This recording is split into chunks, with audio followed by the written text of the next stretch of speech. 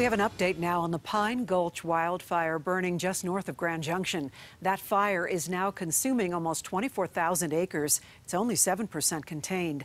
Yesterday, some residents were warned to be ready to evacuate. Some buildings are threatened, but so far none have been damaged. Now, that fire has been burning since last Friday when it was sparked by lightning.